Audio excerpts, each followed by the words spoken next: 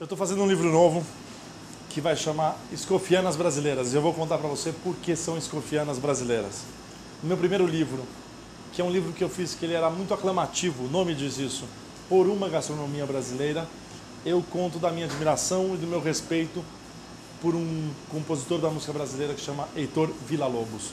É, o Villa-Lobos foi a primeira pessoa a olhar o folclore brasileiro e levar a um núcleo que era muito conservador, quase reacionário, que é a música clássica dos anos 30 na Europa. A obra mais importante do Heitor Villa-Lobos chama Baquianas Brasileiras. Era a visão dele sobre Bach e o Brasil. Ah, seguindo o mesmo trajeto, seguindo o mesmo conceito, eu reinterpretei a cozinha brasileira, ou melhor, os ingredientes brasileiros, com o mesmo orgulho que o Villa-Lobos fazia com o folclore brasileiro. Então eu escrevi as escofianas brasileiras. Escofianas porque aqui na cozinha nós temos o nosso bar. Ele chama Augusto Escoffier, foi o cara que organizou a cozinha e criou a base para todos nós profissionais de cozinha trabalharmos.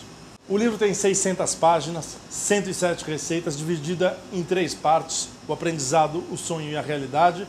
E no finalzinho do livro você vai ter um, um cookbook, é um, um livrinho pequenininho, do tamanho de uma pequena agenda, só com as receitas para você poder trazer aqui para a beirada do fogão e acompanhar a receita do seu lado, ou seja, fazer a receita com o guia do lado. O livro deve sair mais ou menos no mês de maio, pela editora La Russe.